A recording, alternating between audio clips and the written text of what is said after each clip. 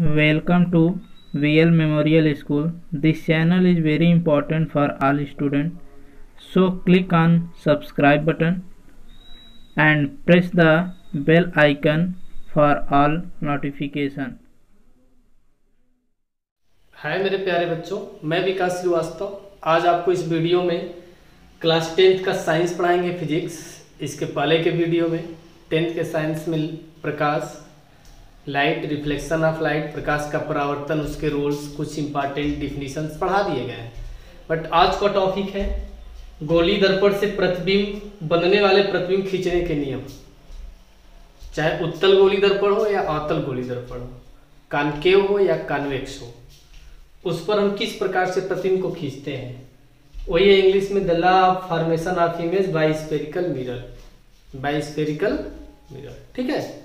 हम किस तरह से प्रतिबिंब को खींचते हैं किसी गोली दर्पण पर? और क्या रिज़ल्ट आता है? कौन सा किरण कहाँ जाना है? कैसे मोड़ना है?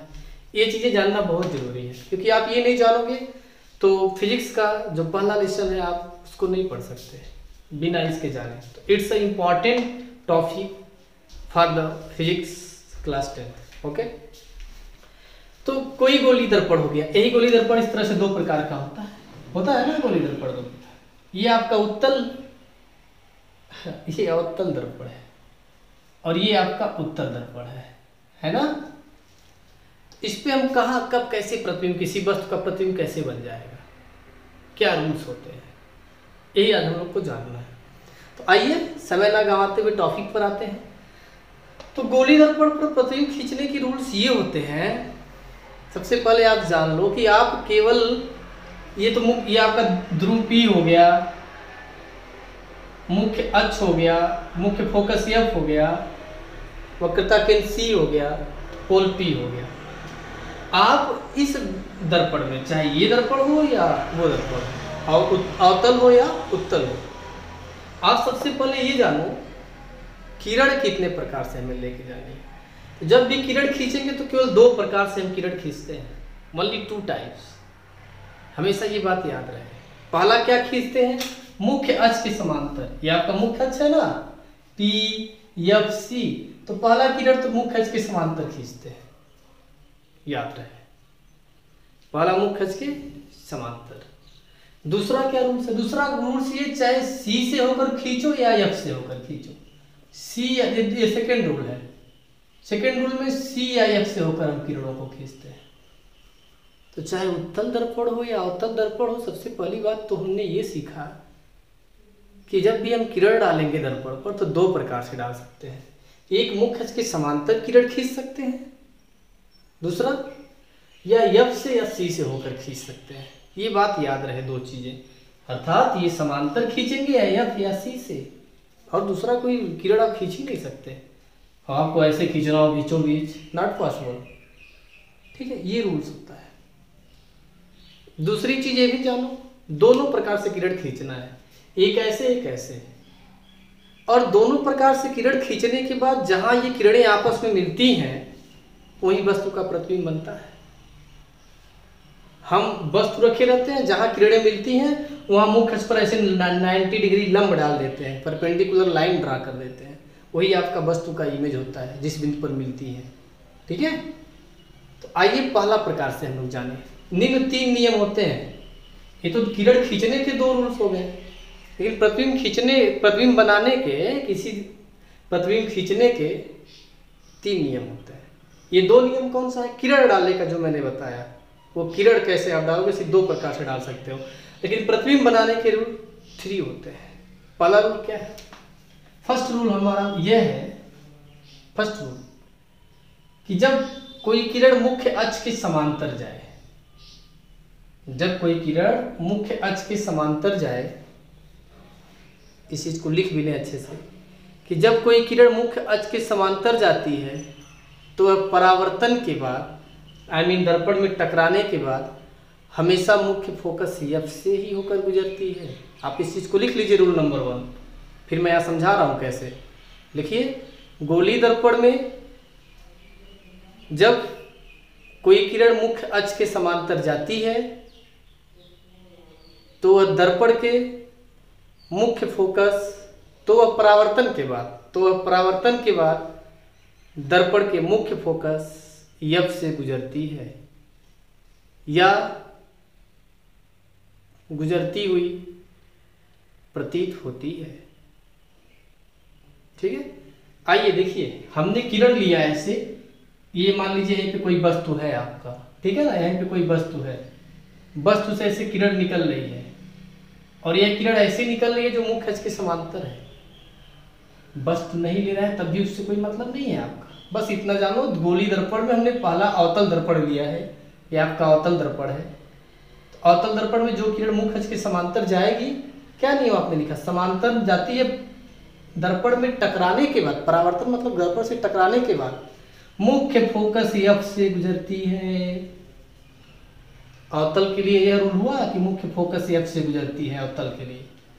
लेकिन उसी में आपने लिखा, या गुजरती हुई प्रतीत होती वह इसमें होता है उत्तल दर्पण में। उत्तल दर्पण में आपका यह काम होता है। देखिए कैसे, यहाँ टी हो गया यफ हो गया, यहाँ क्या हो गया सी हो गया। ठीक, ऐसे कोई आपने समांतर किरण डाला। लेकिन उत्तर दर्पण का रूल होता है कि किरण को खड़ से मोड़ देता है, कैसे चले जाओ। बट हमने क्या नियम सीखा है? कि मुख्य अक्ष के समांतर जाने वाली किरण मुख्य फोकस एफ़ से गुजरती है या एफ़ से गुजरती हुई प्रतीत होती है। इसमें क्या होगा? ऐसे किरण आपकी एफ़ से जाती हुई प्रतीत होती देखिए, उसमें किरण आपका एफ़ से जाती हुई प्रतीत होगी। इसमें एफ़ से गुजरती है। राइट पहला रूल था। आइए दूसरे रूल को पढ़ते हैं। सेकेंड रूल क्या है? ये आपका सारे रूल्स दोनों इमेज दोनों दर्पण के लिए जाएँगे। उत्तर, अवतल और उत्तर कानकेव एवं कन्वेक्स ये हो गया आपका अवतल दर्पण और यह उत्तल दर्पण। ये इसका मुख्य, ये पोल पी मुख्य फोकस यह वक्रता केंद्र सी ये उत्तल दर्पण का पोल पी मुख्य फोकस या वक्रता केंद्र सी दूसरा रूल समझिए। पहला तो बहुत आसानी से कि समांतर जाएगा तो से गुजरेगा या गुजरता हुआ प्रतीत होता है। सेकेंड रूल गोली दर्पण में मुख्य फोकस एफ़ से जाने वाली किरणें। लिख लीजिए आप इस चीज़ को। गोली दर्पण में मुख्य फोकस एफ़ से जाने वाली किरणें परावर्तन के पश्चात मुख्य अक्ष के समांतर हो जाती हैं या समांतर आने वाली किरणें परावर्तन के पश्चात मुख्य फोकस एफ़ से जाती हुई प्रतीत होती हैं। राइट तो देखिए, इसके लिए पहले, जो किरण मुख्य फोकस एफ़ से गुजरती है ऐसे, वह परावर्तन के बाद मुख्य अक्ष के समांतर हो जाती है। ये आपका मुख्य अक्ष था, परावर्तन हुई यहाँ किरण, मुख्य अक्ष के समांतर हो गई। लेकिन यहाँ वही चीज़ है। मुख्य फोकस एफ़ से इसको इस प्रकार से भी लिख सकते हैं, समझ सकते हैं कि मुख्य फोकस एफ़ से जाने वाली किरण, जो भी किरण, इससे होकर जा रही है, इससे। यहाँ आप ऐसे करेंगे।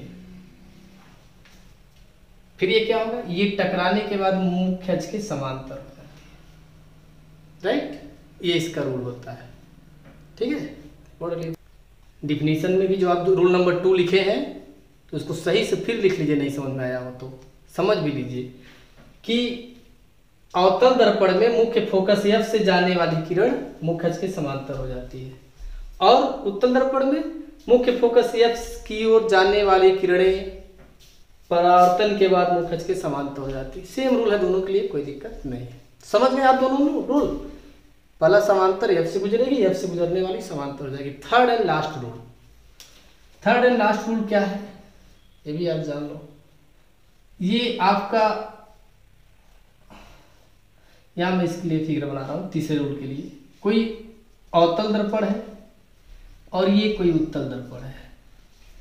मुख्य focus P F and C मुख्य फोकस नहीं पोल को पी बोलते हैं। पोल पी मुख्य फोकस को एफ़ से, वक्रता के इनको सी से। इस रूल को समझिए। पहला समांतर, दूसरा या दूसरा सी का बारी आता है। लिख लीजिए नियम को। गोली दर्पण के वक्रता केंद्र सी से जाने वाली किरणें परावर्तन के बाद उसी मार्ग में वापस लौट आती हैं। अब समझिए इस चीज़ को। जो भी यही गोली दर्पण है आपका, अवतल दर्पण, सी से कोई किरण आ रही है तो जैसे ये परावर्तन होगी, फिर वैसे उसी मार्ग में वापस आ जाएगी। Same rule. अगर कोई किरण सी पे ऐसे जा रही है तो जैसे ही परावर्तन होगी, वापस इसी मार्ग में रिटर्न आ जाएगी। तो ये तीनों रूल जब आपको पता रहेगा तो आगे के टॉपिक पढ़ने में मज़ा आएगा, वरना आप कुछ नहीं जान पाएँगे। तीनों रूल अच्छे से जान लीजिए फिगर बना लीजिए नोट्स तैयार कर लीजिए। तब तक के लिए थैंक यू मिलते हैं नेक्स्ट वीडियो में बच्चों।